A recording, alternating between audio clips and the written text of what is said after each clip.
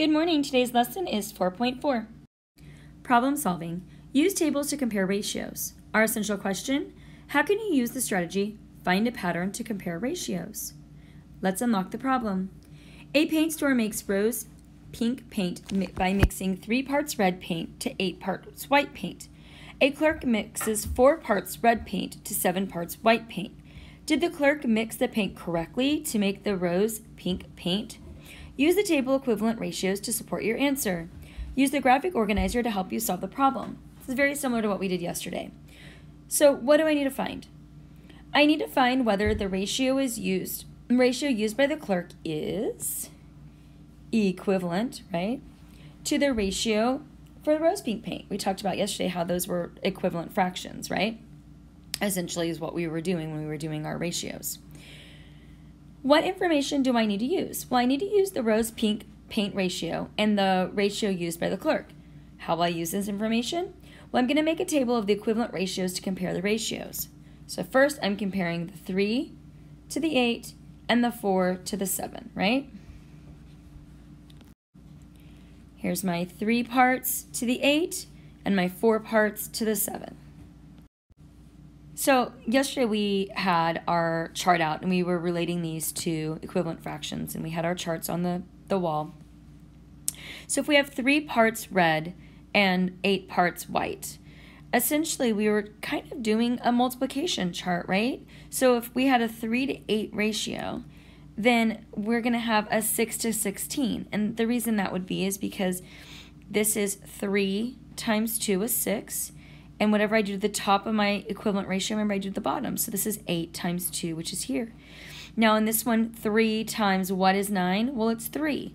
So if I take 8 and I multiply it by 3, then I should get, sorry, I should get 24. Again, I'm going to look at my example here. So now I have 12. In order to get the 12, I multiplied the 3 by 4. Whatever I did at the top, I do the bottom, right? So that's 4 times 8 which is going to be 32. So we're just looking at them. And if, if I think about it with my multiplication charts like yesterday, multiples of 3 is 3, 6, 9, 12. And then in my parts of white, it's 8, 16, 24, 32. It's essentially my multiplication chart, right? So let's keep this going. So now I'm doing, now I'm kind of doing it in reverse, right? Because I have the bottom. So I have 7, 14, 21, 28. 7 times 1 is 7. 7 times 2 is 14. 7 times 3 is 21. 7 times 28 is, or 7 times 4 is 28. So 4 times 1 is 4. And I'm going to go by 2. And I'm going to get 8. And times 3 it's 12. And times 4 it's 16. So I'm going to, I'm looking for the pattern, right? So that was the pattern that determined. So 12 32s, right? So here I am with my 12 and my 32s.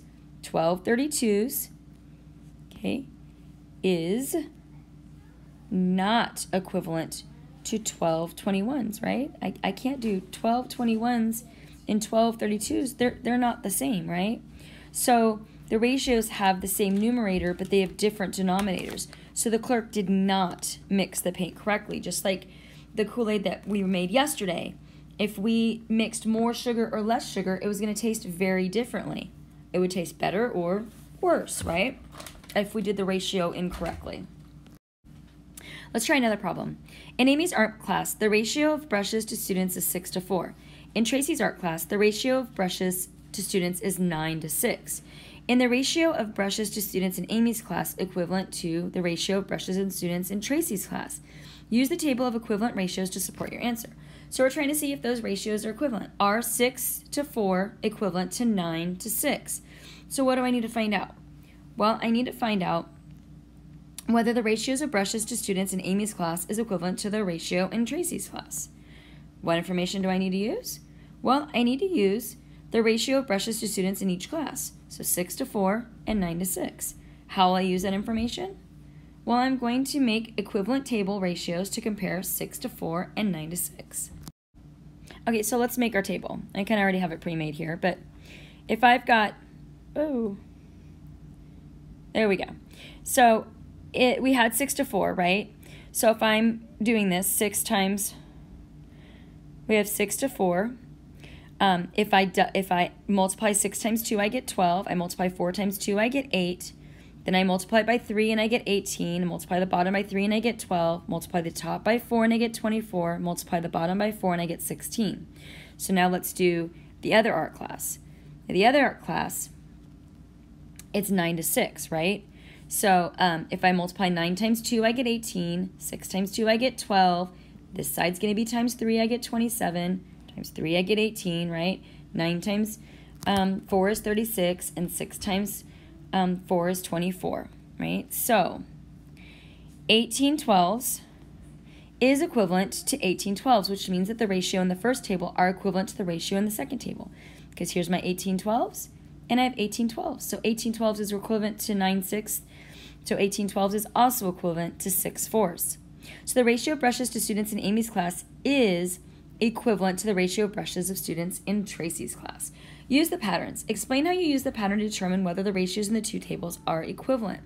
Well, simply, I saw that both tables included 18 12s, and since the same ratio appears in both tables, the ratio in the first table must be equivalent to the ratio in the second table. Tell how the rating tell how writing the ratios in simple form can help you justify your answer. Well, when you write the ratios in simple form, you'll find that they are equivalent. 6 fourths does is equivalent to 3 halves, and 9 sixths is equivalent to um, 3 halves.